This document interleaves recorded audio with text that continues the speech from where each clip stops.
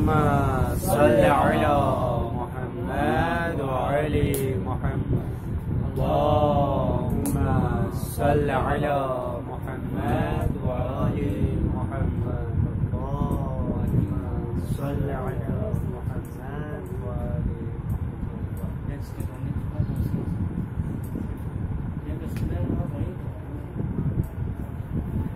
أعوذ بالله من الشيطان الرجيم. بسم الله الرحمن الرحيم. ربي زدني علما ويقينا وألحقني بالصالحين. رب اشرح لي صدري ويسر لي أمري واحلل عقدة من لساني يفقهوا قولي. سب سے پہلے آپ تمام دوستوں کو ولادت با سعادت حضرت تردید و تہنیت پیش کرتا ہوں۔ یہ ہفتہ اسے دہی کرامت کہا جاتا ہے۔ پہلی ذی قادہ کو حضرت معصومہ کی ولادت ہوئی اور دسویں ذی کو امام رضا علیہ السلام کی ولادت ہوئی ہے۔ تو ان دونوں کو جمہوری اسلامی ایران میں دہی کرامت سے یاد کیا جاتا ہے یعنی کرامت کی دس دن انشاءاللہ اس ہفتے میں ہم اور آپ نے حضرت معصومہ صلی اللہ علیہ کی ولادت منائی اگلے ہفتے میں امام رضا علیہ السلام کی ولادت منائیں گے اور آپ لوگ بھی انشاءاللہ بہترین طریقے سے تیاری کے ساتھ آئیے گا امام کے بارے میں یا دوسرے ٹاپکس میں آپ لوگ تیاری کر کے آئیے، کچھ تجربیات اپنے بیان کرنے کے انشاءاللہ اور ہم سب آپ کے تجربیات سے فائدہ اٹھائیں آج اور ہم اور آپ آج اپنا پہلا کلاس شروع کرنے جا رہے ہیں، انشاءاللہ بہترین ایام میں ہم اور آپ شروع کر رہے ہیں، ولادت وسعادت حضرت معصومہ سلام اللہ علیہ۔ آج انشاءاللہ خدا ہم اور آپ کو اس بات فضیلت دن کے موقع پر یہ توفیق عطا فرمائیں کہ یہ کلاسز جو ہم اور آپ شروع کرنے جا رہے ہیں ہمارے لیے مفید رہے اور باعث عبرت اور اس پر عمل کرنے کے ہم اور آپ کو توفیق دوستوں ہم اور آپ درس اخلاق کے حوالے سے کچھ گفتگو کریں گے۔ اسلام میں تین موضوعات پر بہت زیادہ فوکس دی جاتی ہے، عقائد پر، احکام پر اور اخلاق پر۔ اخلاق میں جو کتاب ہم اور آپ پڑھنے جا رہے ہیں، وہ آداب معاشرت ہے۔ آداب معاشرت کا پہلا درس حسن خلق، اچھے اخلاق کے بارے میں۔ ہم اور آپ سب سے پہلے جانیں گے کہ اخلاق کیا چیز ہے۔ خود اخلاق کا کیا مطلب ہے؟ یہ اخلاق ہے اخلاق کو کلمہ یہ خلق سے نکالا گیا ہے۔ خلق ہے ایک چیز ہمارے پاس خلق ہے۔ ٹھیک ہے؟ خلق یعنی باطنی صفات، خلق یعنی ظاہری صفات۔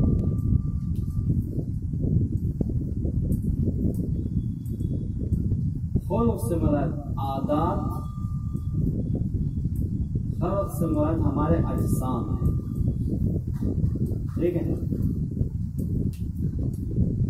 اور دوسرے مطلب اگر یہ خلق لغت میں عادات کے معنی میں لکھا جاتا ہے، عادت عادت نہیں کہتے، اس کی عادت ہے ہیبٹس عادات کے معنی میں۔ اب یہ عادت یا ہمارے اچھی ہوگی یا بری ہوگی۔ اچھی عادت کو حسن خلق کہتے ہیں۔ بری عادت کو سوئے خلق کہتے ہیں۔ ٹھیک ہے؟ اس کو، اور اصطلاح میں ہمارے دین میں اخلاق کے کیا معنی ہوتا ہے؟ ہمارے دین میں اخلاق کے معنی ہوتا ہے وہ ملکہ وہ ملکہ ہے جس کے ذریعے انسان اچھے کاموں کو انجام دیتا ہے اور برے کاموں سے رک جاتا ہے۔ بس اخلاق کا کیا مطلب ہوا؟ اخلاق کا مطلب یہ ہوا کہ وہ ملکہ، وہ ایسا سیلف کانفیڈینس کہ جس کے ذریعے انسان اچھے کاموں کو انجام دیتا ہے اور برے کاموں سے رک جاتا ہے۔ لغت میں ڈکشنری میں اخلاق کیا معنی ہوا؟ عادت کے بس یہ کام، یہ اخلاق، یا انسان کے اوپر ایسے ملکات آ جائیں یعنی ایسے برے ملکہ انسان کے اوپر آ جائیں جس کے ذریعے وہ برے کاموں کو انجام دیں اور اچھے کاموں کو چھوڑ سکتا ہے، اسے سوئی اخلاق کہا جاتا ہے، برے اخلاق۔ اور ایک ایسا ملکہ انسان کے اندر بھی آتا ہے کہ جس کے ذریعے وہ اچھے کاموں کا انجام دیتا ہے اور برے کاموں سے بچتا ہے، جسے کہتے ہیں حسن خلق۔ آج ہم اور اب حسن خلق کے بارے میں جانیں گے۔ بس ایک جگہ خلق ہے یعنی ہمارے باطنی صفات، ایک جگہ خلق ہے ہمارے ظاہری صفات۔ مثلا ہمارے اور آپ کے آنکھ، جسم، نسل، جنس، یہ سب ہمارے ظاہر ہیں، اندر کے نہیں ہیں۔ آپ کا خوبصورت ہونا، آپ کا بدصورت ہونا، یہ خلق سے مربوط ہے۔ خلق سے مربوط نہیں ہے۔ خلق مادی ہے خلق معنوی ہے مثلا آپ اور ہم ایسا ڈفرینس کریں یہاں پہ۔ خلق ہے ایک، یہاں پہ لکھیے خلق۔ کہیں یہ باطنی ہے، خلق جو ہے یہ ظاہری ہے یہ باطنی ہے، ایک فرق۔ یہ مادی ہے، یہ معنوی ہے۔ ٹھیک ہے؟ یہ اختیار نہیں رکھتا۔ مثلا آپ کب پیدا ہوں گا آپ کا اختیار نہیں ہے۔ آپ کے آنکھ یہاں ہوں گے آپ کے کان یہاں ہوں گے آپ کے اختیار میں نہیں ہے کہ ان کو آگے پیچھے رکھ سکیں۔ ہیں اختیار میں؟ بس یہاں پہ اختیار نہیں ہے۔ خالق میں کوئی اختیار نہیں ہے۔ کریشن میں آپ کو کوئی اختیار نہیں ہے۔ جو خدا نے دی ہے، جو عرص کے طور پہ موجود ہے، وہ ہے، ذاتی ہے۔ یعنی جو کچھ ہوگا، اس میں آپ کو کوئی اختیار نہیں ہے کہ آپ آگے پیچھے کریں۔ لیکن صفات معنوی میں جھوٹ بولنا، سچ بولنا اچھا کرنا، نیکی کرنا، ظلم کرنا اور سچ بولنا، کلاس میں جانا، کالج میں جانا، پڑھنا، لکھنا، یہ سب اختیاری صفات ہیں۔ اس مطلب یہ اختیاری ہے۔ اس میں کیا ہے؟ اختیار ہے۔ یعنی وہ مطلب اچھے کاموں کی طرف جانے کے اختیار ہے انسان کے پاس بس یہ وہ معنوی چیزیں جس میں اختیار ہے۔ یا یہاں پہ مشاہدہ کیا جا سکتا ہے۔ مشاہدہ یعنی دیکھا جا سکتا ہے کہ آپ کی آنکھ ہے، خوبصورت ہے، بدصورت ہے اچھا ہے، برا ہے، لمبا ہے، چوڑا ہے۔ خلقت کو آپ کے دیکھا جا سکتا ہے، آنکھوں کے ذریعے۔ لیکن اس کو آنکھوں کے ذریعے مشاہدہ نہیں کیا جا سکتا عقل کے ذریعے آپ کے حرکتوں کے ذریعے اس کو حص کیا جا سکتا ہے۔ ٹھیک ہے؟ یعنی، تیسری چیز جو ان میں فرق ہم اور آپ جیسے اندازہ گیری یہاں پہ ہوتی ہے۔ مثلا آپ کتنے بڑے ہیں کتنے موٹے ہیں کتنے چوڑے ہیں؟ ہاں، اس کو اندازہ کیا جا سکتا ہے لیکن باطنی صفات میں اندازہ نہیں کیا جا سکتا کہ کتنا ہے۔ ٹھیک ہے؟ بس خلق اور خلق میں یہ ڈفرینس آپ لوگ ذہن میں رکھیے۔ اب یہ دوسری چیز، اس اخلاق کا ٹاپک کیا ہے؟ بھائی، یہ خلق ہے۔ اس کا ٹاپک کیا ہے؟ اس کا ٹاپک ہوتا ہے، موضوع ہمیشہ انسان ہے اور انسان کے اعمال ہے۔ تھیوری اور فکر نہیں ہے، انسان کے اعمال اور انسان کا نفس ہے۔ اس کا موضوع کیا ہے؟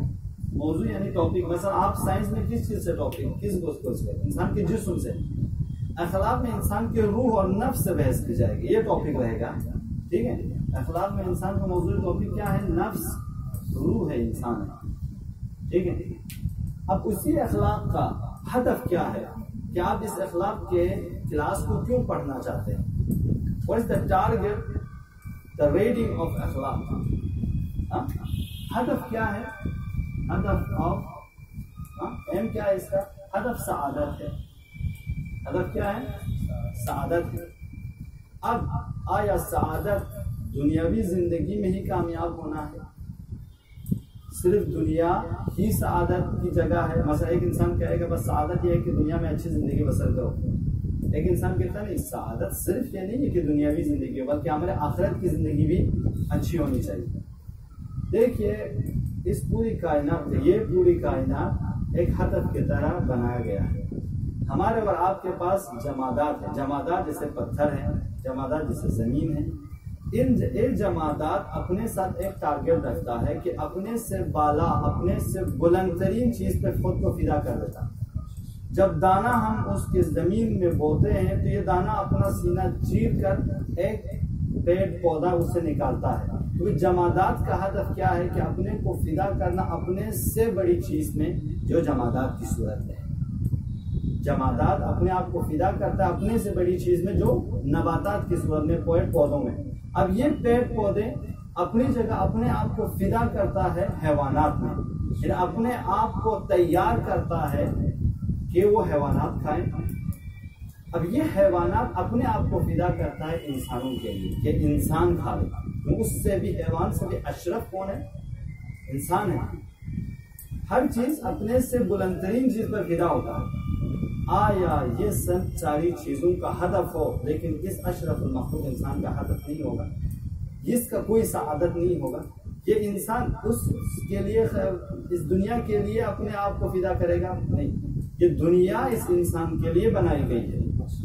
تو یہ انسان فدا کس پہ ہوگا؟ اپنے سے بڑی چیز پہ، اپنے سے بڑی ذات پہ۔ وہ ذات کیا ہے؟ ذات خدا بن جاتا ہے لہذا انسان اپنے آپ کو فنا کرے گا خدا کی راہ میں فی سبیل اللہ لہذا ہم اور آپ کو کیا بتایا جاتا ہے؟ تمہاری سعادت یہ ہے کہ انا للہ و انا الیہ راجعون۔ تم آئے ہو اسی کی طرف سے، جائے گا اسی کی جانب۔ اگر ہم اور آپ نے اپنے آپ کو اس راہ میں لگا دیا، تو سمجھے ہم نے اخلاق کے اس ہدف کو حاصل کر لیا ہے۔ یہ اخلاق۔ ہے اس کے ذریعے ہم اور آپ اپنے آپ کو لے جائیں گے کس کی طرف؟ اس واقعی ہدف کی طرف جو ہم اور آپ دنیا ہمیشہ پست ہے۔ دنیا دنا سے بنی ہے پستیوں کی طرف۔ جتنا ہم دنیا پرس بنتے جائیں گے، اتنا ہم پستیوں کی طرف چلے جائیں گے۔ لیکن جتنا ہم دنیاوی زندگی کو چھوڑ کر آخرت اور مانویات کی طرف چلے جائیں گے، اتنا ہم مانویات کی طرف چلتے رہیں گے۔ یہاں تک کوئی سوال آپ لوگوں کو؟ یہ ایک تھوڑی سی بریف تھی خود اخلاق کے حوالے سے۔ اب اس اخلاق کو ہم دو حصوں میں تقسیم کرتے ہیں۔ سوال پڑھیں محمد آل محمد اللهم صل على محمد وآل محمد۔ اخلاق کیا ہوا؟ اخلاق لغت میں عادت ہوا۔ ہم نے دین کی مدد میں ایک ایسا ملکہ جس کے ذریعے انسان اچھے کاموں کا انجام دیتا ہے برے کاموں سے رک جاتا ہے۔ یہ دو طرح کے ہو سکتا ہے۔ ایک اچھا اخلاق دوسرا برا اخلاق۔ ٹھیک ہے؟ اچھے اچھا اخلاق اور برا اخلاق۔ اچھے اخلاق کو انہوں نے حسن حسن الخلق، حسن خلق کہا گیا ہے۔ برے اخلاق کو سوء سوء الخلق یا سوء خلق کہا گیا ہے۔ ٹھیک بری صفات اور اچھی صفات۔ ٹھیک اب ہم اور آپ جاننا چاہیں گے کہ اچھی اخلاق کیا مطلب یعنی اچھی عادتیں۔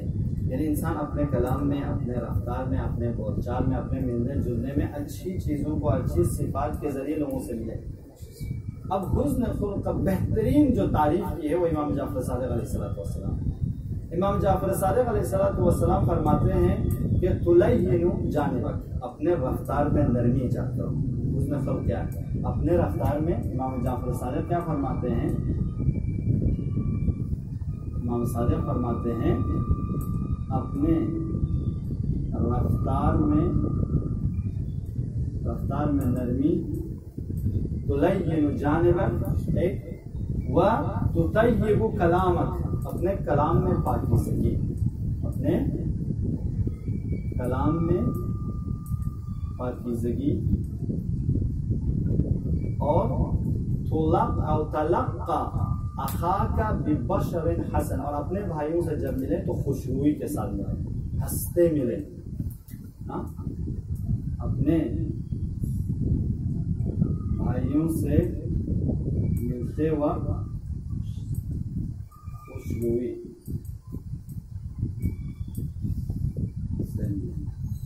یہ تین حسن خلق ان تینوں کو اگر ہم اور آپ نے اپنے اندر ایجاد کر دیا، سمجھے ہم اور آپ حسن خلق کے مالک بنے۔ ایک تو اپنے رفتار میں نرمی، تندی کبھی نہ ہو ہمارے رفتار میں، ہمارے کردار میں۔ ہمیشہ نرمی سے لوگوں کے ساتھ پیش آئے۔ تیسری جو ہمارے کلام میں پاکیزگی ہو، گالی فوج گندگی، بری باتیں ہماری باتوں میں نہ ہو، ہمیشہ پاکیزی، پاکیزہ اور طاہر باتیں ہوں۔ تیسری چیز جو ہم اور آپ کو ہونے چاہیے جب بھی اپنے بھائیوں سے ملے جب بھی اپنے دوستوں سے ملے کیا ہو وہاں پہ ہمارا اور آپ کا اخلاق؟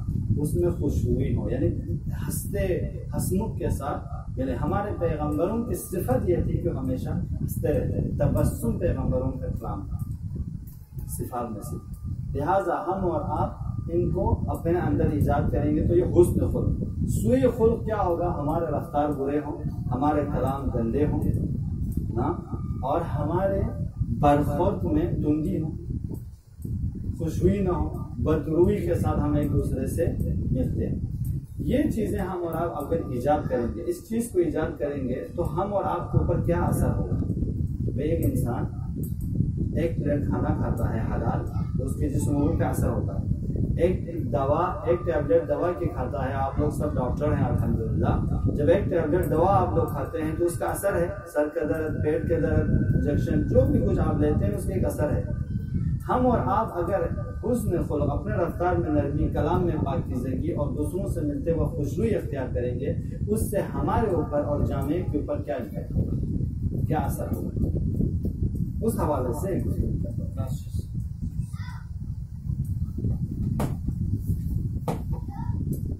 ہم اور آپ کہیں گے کہ اچھے اخلاق اچھے اخلاق کے اثرات۔ دنیاوی زندگی پر اور اخروی زندگی پر دو چیزیں ہیں ہمارے پاس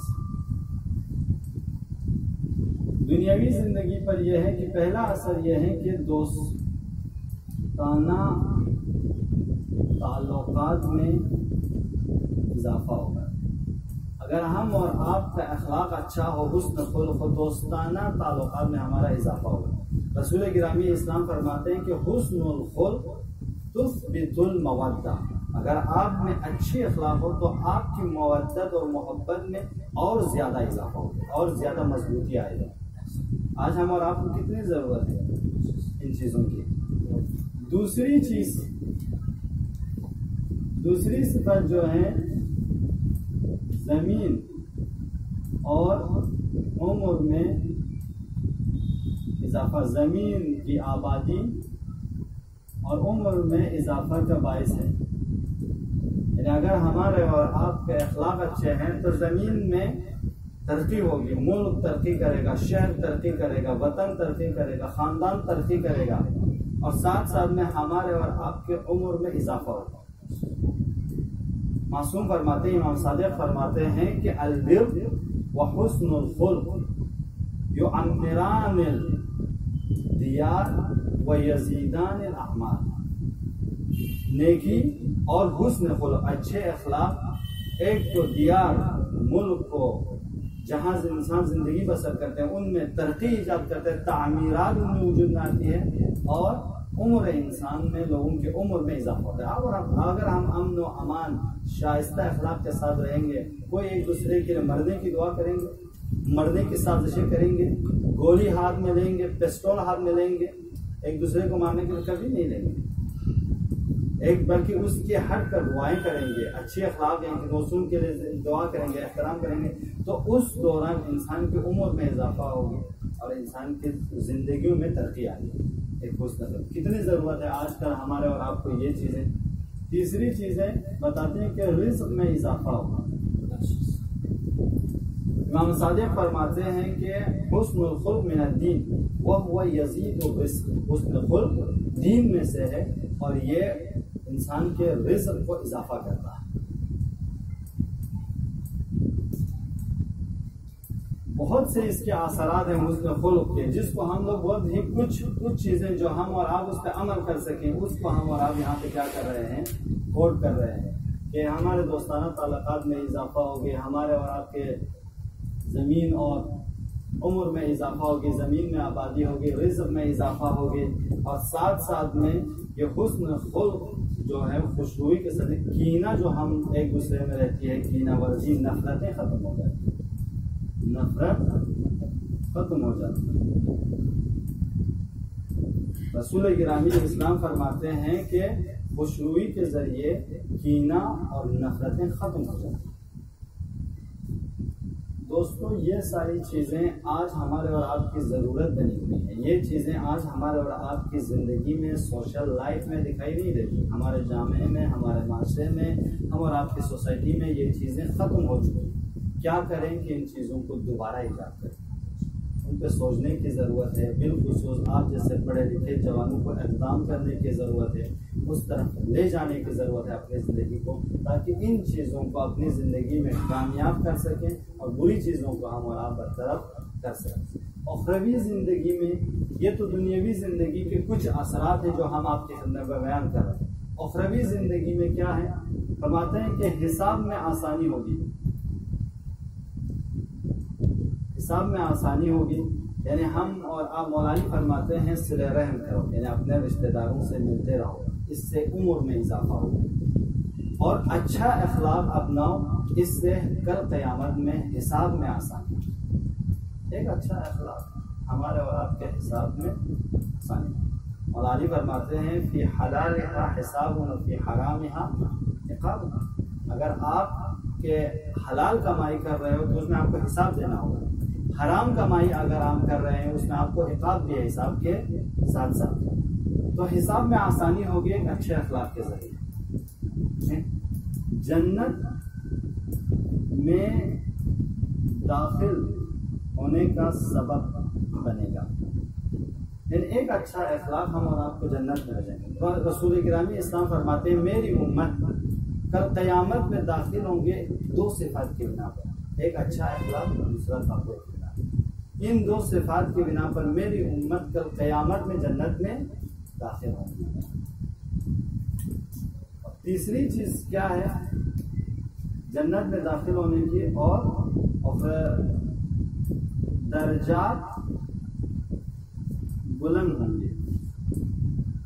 رسول گرامی اسلام کہتے ہیں کہ اچھے اخلاق کے ذریعے انسان اپنے درجات کو، اپنے لیول کو اوپر لے جا سکتا ہے اور جس کی اگر یہ ہو تو جس کے ذریعے وہ عبادت کریں تو اس کی عبادت میں چار چاند لگے عزیزوں ان چیزوں کو اگر ہم اور آپ جو قیامت پر عقیدہ رکھتے ہیں، توحید پر عقیدہ رکھتے ہیں، پیغمبر کی فرمائشات پر عقیدہ رکھتے ہیں، یہ ساری چیزیں ہمارے اور آپ کے لیے ضروری ہے کہ ان چیزوں کو اپنے زندگی میں بھی زندہ رکھیں، اپنے فیملی والوں کو شیئر کریں کہ حسن اخلاق کے یہ اثرات ہیں۔ ایک دوسرے کے لیے غیبت کرنے کے بجائے، ایک دوسرے کی برائی کرنے کے بجائے، ایک دوسرے کی اچھائی بیان کرنے کی کوشش کریں۔ ایک دوسرے پر انگلیاں اچھالنے کے بجائے، ایک دوسرے کو حوصلہ افزائی دینے کی ضرورت ہے۔ جو حسن زن ہم اور آپ اپنے اندر ایجاد کریں گے، اس کے ذریعے ہماری فیملی، ہمارے خاندان، ہمارا شہر، ہمارا ملک آباد ہوگا ان شاء اللہ سوال کرتے محمد۔ اور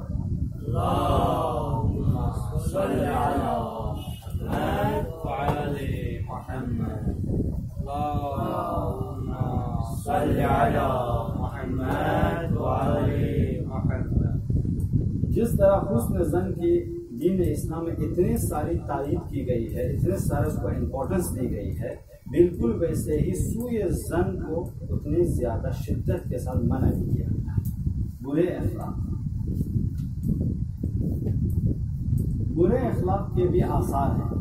جو کچھ آپ حسن خلق میں پائے، اس کے برعکس سوئے خلق میں پائے جاتا ہے۔ رسول گرامی اسلام فرماتے ہیں، خصلتان لا یجتمعان فی المسلم۔ دو چیز، دو خصلت، دو صفت کبھی مسلم میں جمع نہیں ہوتی۔ البخل کنجوسی و الخلق، اور برے اخلاق کبھی مسلمانوں میں جمع نہیں ہو ایک مسلمان میں یہ دو صفت کبھی جمع نہیں ہو سکتی خوب، برے اخلاق کے اثرات کیا ہیں؟ اگر ہم اور آپ حسن خلق نہیں رکھیں گے برے اخلاق کے حامل رہیں گے تو ہمارے ہم اور آپ پر کیا اثر آنے والا ہے؟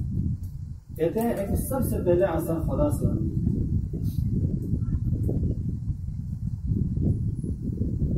خدا کون ہے؟ تبھی ہمیں آپ کو احساس ہوگا کہ اس سے دوری کیا چیز ہے۔ خدا وہ ہے جو ہمارے ماں باپ، ہم اور آپ سے محبت کرتے ہیں تو ستر گنا محبت کرنے والا خدا ہے۔ رحم کرنے والا خدا۔ ہم اور آپ کو رزق دینے والا خدا۔ بچپن میں ہم پہ رزق دینے والا بزرگ جب ہم اور آپ ہوں گے، رحم کرنے والا خدا۔ ہمارے ہر خوف میں، ہمارے ہر خوشی میں شامل خدا۔ ہم ہر چیز سے سب سے نزدیک ہم خدا سے۔ اس ذات سے دوری کا مطلب تصور کر رہے ہیں۔ خدا کہتا ہے، میں تیرے شیر سے قریب ہوں، لیکن ہمارے برے اخلاق خدا کو ہم اور آپ سے اتنا دور کر دیتا ہے۔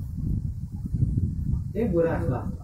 جیسے امام باقر کہتے ہیں کہ ابو سروج وسوء الخلق ایک شروعی برے چہرہ بناتے رہتے ہیں ہر کوئی کسی کے سامنے۔ اس طرح کا چہرہ بنانے والا اور برے اخلاق رکھنے والا خدا کے غضب میں اور خدا سے دور۔ خدا کے غضب میں اور خدا سے دور۔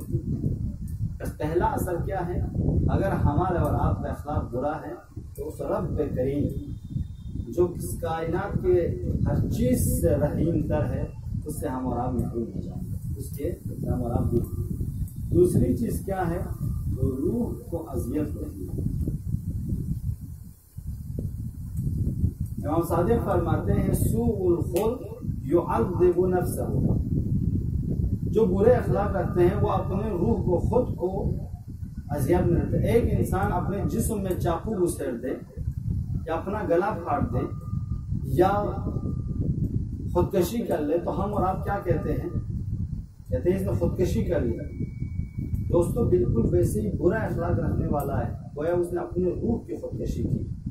امام صادق فرماتے ہیں، برا اخلاق رکھنے والا ہمیشہ روح کے عذاب میں رہتا ہے، وجدانی عذاب میں رہتا ہے۔ تیسری چیز، رزق میں کمی ہے۔ رزق میں کمی ہے۔ امام فرماتے ہیں کہ سوء الخلق سوء الخلق ضیق رزق ہوگا جو برے اخلاق رکھتے ہیں، اس کے رزق میں تنگی آ جاتی ہے۔ آپ اندازہ کریں، ایک انسان جو اچھے اخلاق کے مالک ہوں، گھر میں کچھ بھی نہ ہو، تو بالکل ان نرمی کے ساتھ رہتا ہے کہ آج نہیں تو کل کھا لیں گے۔ آج روٹی اور دہی کے ساتھ بھی بسر کر لیں گے، کل کھا لیں گے۔ لیکن برے اخلاق رکھنے والے ایک پانی لانے میں بھی دیر ہو جائے، بیوی بچوں کو گالی گلوچ دے کر تباہ کر دیتا ہے خان، گھر کے حالات، گھر کی سچویشن کو۔ کھانا، پینا سب کچھ ہے، لیکن ایک گلاس دیر سے پانی آنے پہ پورے گھر کے ماحول کو خراب کر دیتا ہے برے اخلاق۔ نہیں، امام فرماتے ہیں، اب اس طرح کے کھانے سے کیا فائدہ؟ جس میں معنوی آسائش نہیں ہے، جس میں فکری آسائش نہ ہو، جس میں آرام نہ ہو جس میں آسائش نہیں ہو۔ گھر بنایا جاتا ہے، آشیانہ بنایا جاتا ہے آرامش کے لیے۔ وہی خود زیب بنا دیں۔ صرف رزق یہ تو نہیں ہے معنوی بھی رزق ہے آرامش بھی ایک رزق ہے امنیت بھی ایک رزق ہے اور توبہ قبول نہیں ہوگی۔ برے اخلاق رہنے والوں کی توبہ قبول نہیں ہوگی۔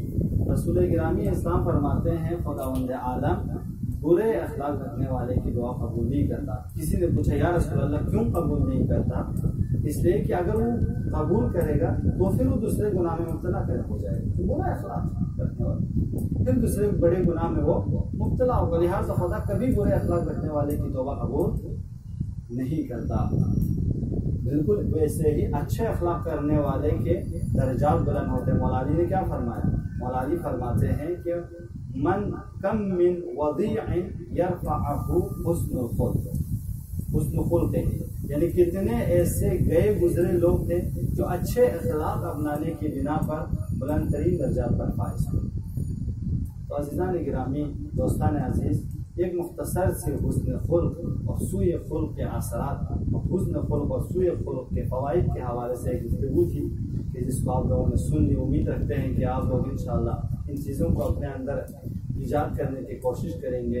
اور وہ چیزیں جو ہم اور آپ اپنے سے دور کر سکیں وہ برائیاں وہ بری صفات، تاکہ جس کے ذریعے ہم اور آپ خدا کے صحیح اور مختلف بندوں میں شامل ہو سکیں۔ اور سے دعا ہے کہ خدایا، بحق حضرت معصومہ سلام اللہ علیہ، جن کی آج ولادت پر سعادت ہے، ہم دعا کرتے ہیں، خدایا، ہم میں اچھے اخلاق اپنانے کی توفیق عنایت فرما۔ اور برے اخلاق سے دوری اختیار کرنے کی توفیق عنایت فرما۔ پروردگارہ ہمیں اپنے مولا امام الزمان صلی اللہ تعالیٰ فرجہ الشریف کے واقعی سپاہیوں میں قرار فرما اور ہم کو ان کے راہ میں ان کے اس لائن میں زمینہ فراہم کرنے والوں میں قرار دے۔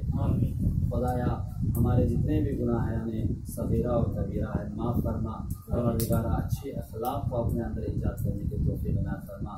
پروردگارہ علماء کرام مراجع اعلام بالخصوص رہبر معظم انقلاب آیت اللہ سیستانی آیت اللہ مکرم اور دیگر مراجع نظام جو ہمارے عراق ایران میں موجود ہے خدایا ان کے عزت اور آبرو کی حفاظت فرما اور ہم سب کو ان کے تعلیمات پر عمل کرنے کی توفیق عنایت فرما۔ پروردگارہ ہمارے مرحومین جو دنیا سے گزر چکے ہیں ان ایام میں وہ ہمارے محتاج ہیں کہ ہمارے بیٹے ہمارے جوان ہمارے نسل ہمارے لیے دعا کرے گی خدایا اگر وہ نعوذ باللہ عذاب میں تو رہائی فرما حق حضرت معصومہ حضرت معصومہ سلام اللہ علیہ کے حق میں ہم ان سے دعا کرتے ہیں خدایا ان کو محمد اور آل محمد کے ساتھ محشور فرما۔ إلى أرواح المؤمنين والمؤمنات في سورة المباركة الفاتحة بسم الله الرحمن الرحيم الحمد لله رب العالمين الرحمن الرحيم إياك نعبد وإياك نستعين اهدنا الصراط المستقيم صراط الذين أنعمت عليهم غير المغضوب عليهم بسم الله الرحمن الرحيم. قل هو الله أحد الله الصمد لم يلد ولم يولد ولم يكن له كفوا بسم الله الرحمن الرحيم. قل هو الله أحد الله الصمد لم يلد ولم يولد بسم الله الرحمن الرحيم. قل هو الله أحد الله الصمد لم يلد ولم يولد اللهم صل على محمد وآل محمد اللهم صل على محمد وآل محمد. اللهم اغفر للمؤمنين والمؤمنات والمسلمين والمسلمات الأحياء منهم والأموات تابع الله بيننا وبينهم بالخيرات إنك مجيب دعوات إنك قادر الحاجات. إنك على كل شيء قدير. برحمتك يا أرحم الراحمين. مع السلامة. الله